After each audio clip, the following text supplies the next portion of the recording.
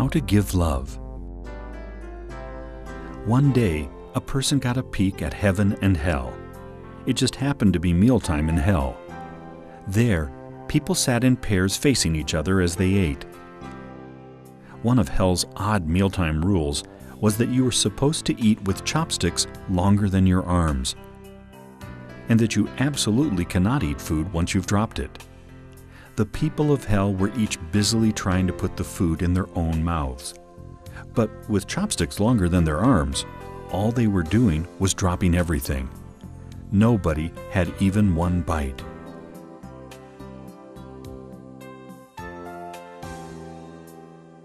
Next, the person went to heaven. Mealtime rules in heaven were exactly the same as those in hell, but the person couldn't find any of the pain and struggling that she saw in hell. They were talking with each other and enjoying the delicious food. This is because the people of heaven weren't each trying to use the chopsticks to feed only themselves, but were each placing the food in the mouth of the person sitting opposite them. Yes, everyone wants to love and be loved. What's really important, though, is the order. If everyone makes the choice, I'll give love only after I first get love, then no one would be able to give or receive love.